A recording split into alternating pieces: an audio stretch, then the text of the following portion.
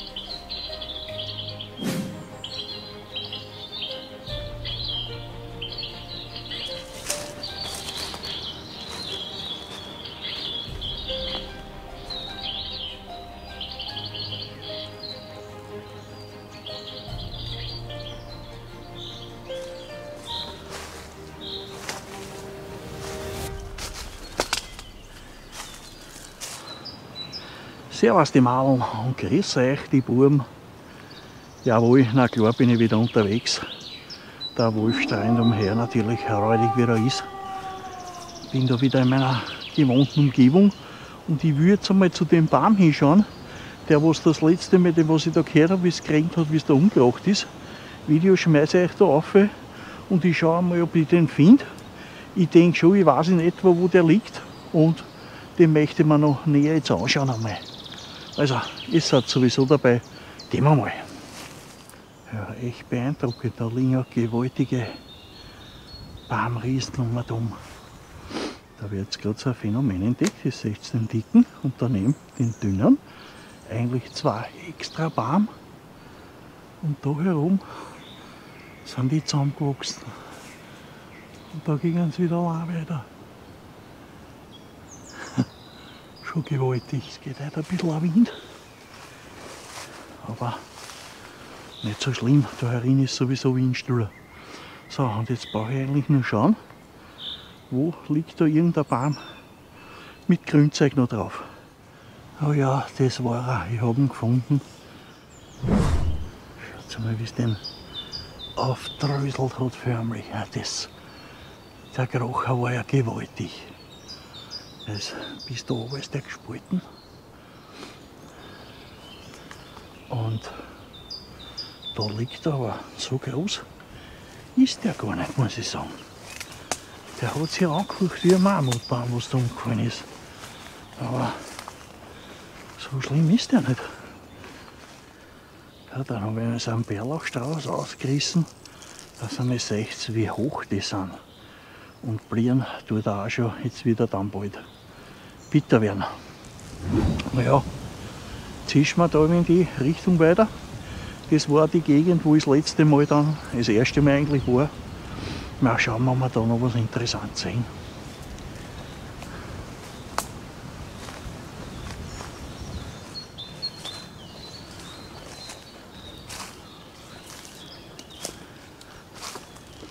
Ja, muss wieder aufpassen, wo ich hinsteige, bevor ich auf der Schnauze liege.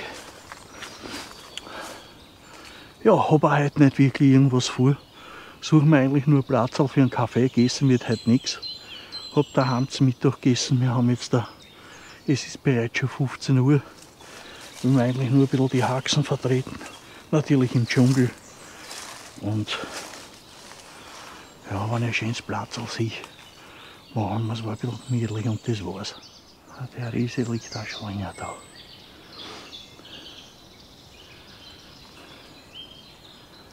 Da war noch einer. Da hinten auch noch ein gewaltiger.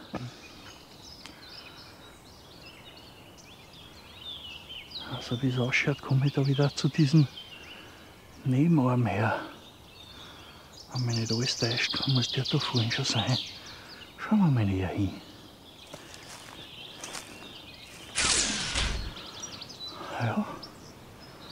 Schaut gut aus.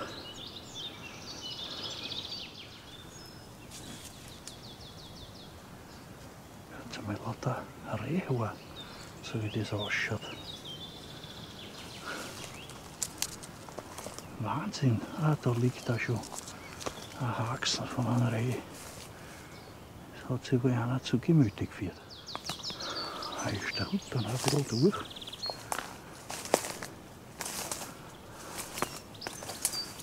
Wenn ein schöneres Platz findet.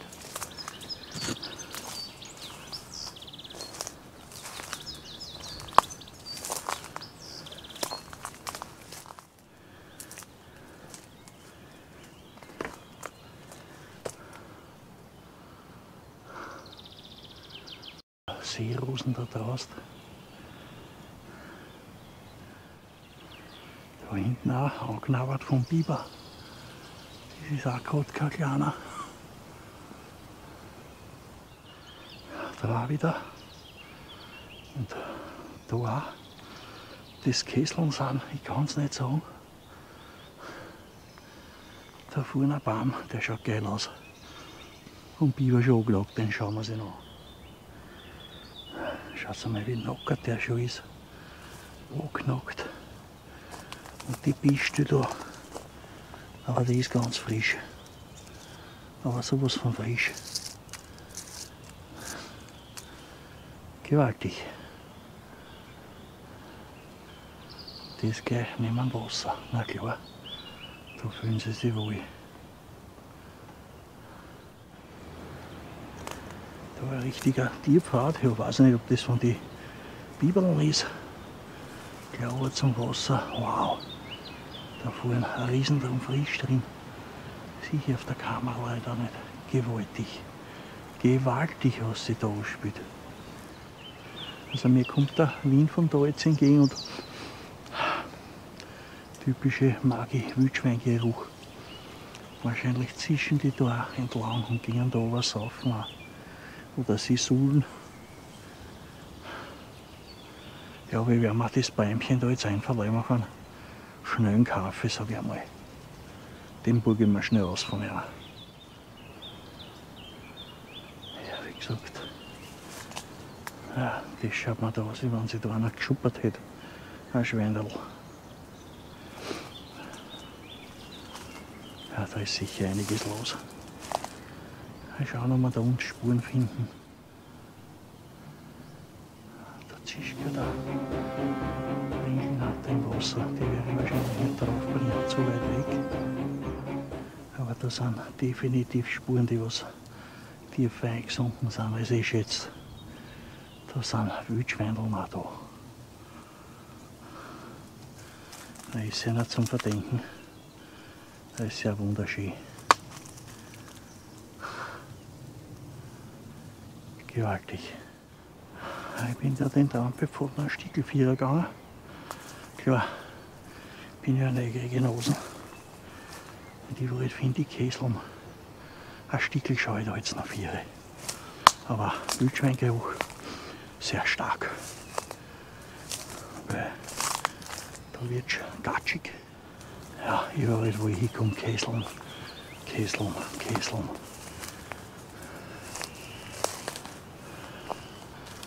alles voll da.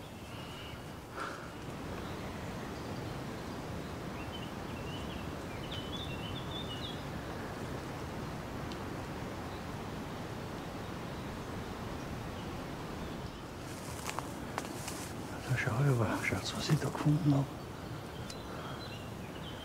Ja, altes Untergestühl vielleicht von einem Hochstand. Wer weiß, wie lang das da schon ist verrottet und vermodert schon. Ja, mein Appell an die Herren Jäger, wenn ihr sowas nicht mehr nutzt, könnt ihr es ja auch wegräumen. Es müsst ihr auch nicht alles liegen und stehen lassen. Muss ja nicht sein. Ja, Freunde. Wirklich, da riecht es extrem nach Wildschweindel. Kann aber auch sein, dass sie sich da geschuppert haben, dass es so extrem riecht. Aber das ist mir jetzt wurscht, wenn wir das Platz jetzt einmal für mich ein bisschen ausbauen, bis dann auch warm ist worden. Da bin ich ein bisschen windgeschützt. Die Baum, da ist jetzt keiner, absolut nicht. Erst da hinten sind höhere. Ja, ich glaube, ich bin da ein bisschen safe. Ja, auf alle Fälle richte ich mir jetzt ein bisschen alles her.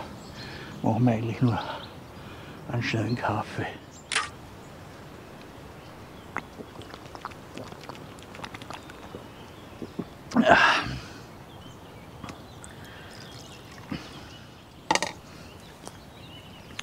Krankensiesterl, es wisst ihr, es hat immer in meine Gedanken die ersten. Werd's mal gesund und meine ganzen Gesunden. Werd's mal nicht krank, vielleicht ändert sich das demnächst einmal und wir haben wieder ein das alte Leben werden wir nie wieder haben, aber halt vielleicht ein besseres als jetzt. Ich trinke auf das. Ah, ui, hasch, hasch. Ah, so Lackerl. Also, wenn ich das gewusst hätte, dass da so heiß ist, hätte man mal Tab aufgespannt. Ich glaube, das kann jetzt schon bald nicht mehr schaden als Sonnentag. Das ist echt schon Wahnsinn. Ja, wir haben es 10 nach 4. Weil dann schon langsam zusammenpacken wieder Richtung heimwärts geht. Dann gibt es einen frischen Mamakuchen. Mhm. Der ist gerade in Arbeit. Ja, wenn ich da jetzt so in etwa so müsste auf die Karten schauen, aber ich schätze mal so einen eineinhalb Kilometer da gehen würde, kann man die dann zu den schönen Platzl und dem Wasser sehen, wo der Baum so overhängt, wo ich eh eine Stunde längst da dort ein Video kann ich da oben verlinken. Dort warte ich auch schon bis alles grün ist und dann gehe ich dort wieder hin und dann sieht man auch von den Weg nicht, weil der ist in 150, 200 Meter Entfernung ist der Weg. Da sieht man jetzt zwar hier, aber wenn dann alles verwachsen ist, nicht mehr. Ja,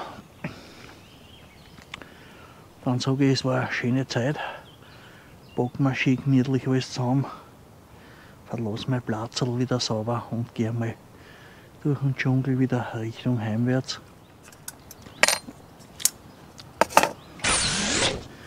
Ja, Platzl brauche ich nichts wuseln, ich habe heute nichts da.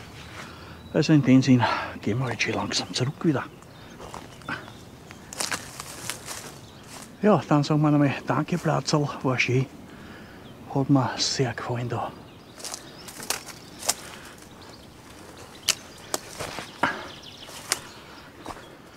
Ja, ich denke, ich werde mich gleich da durchschlagen, jetzt durch den Wald weiter.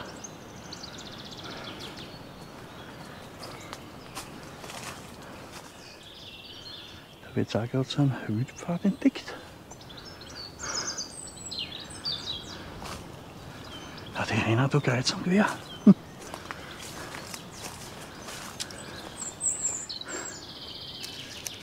Da interessant aus. Wie ein Papier.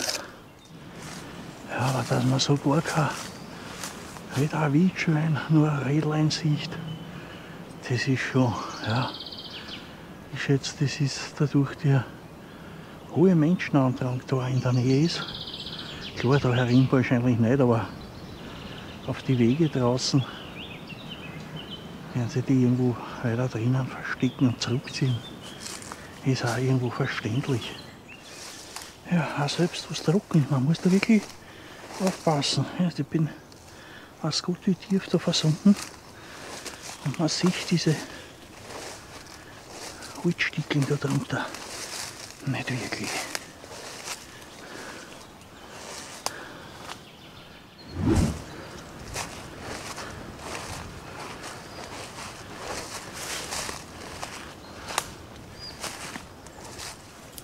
Ja, Freunde, bin da fast an meinem Ausgangspunkt angekommen. Es sind noch ein paar hundert Meter, dann bin ich beim Auto. Ja, ich kann mich bei euch noch immer wieder bedanken. Ich sage danke fürs Zuschauen, fürs Dabeisein, fürs Mitlaufen. Wünsche euch noch einen schönen Tag, eine schöne Woche und sage Servus die Madeln und pfiat euch die Burm.